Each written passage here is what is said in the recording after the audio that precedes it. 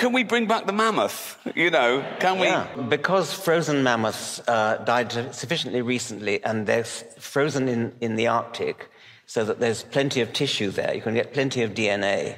There's a lovely Hilaire Belloc poem about the frozen mammoth, which ends up, I can't remember how it, how it goes, but if, if the skin be, it, it, it, it will make an excellent soup, but the snag is, if the skin be but punctured before it is boiled, your confection is wholly and utterly spoiled. And hence, on account of the size of the beast, the dainty is nearly unknown. But anyway, there it is. It's, it's if you don't know the answer, Richard, just say yeah, so. Just...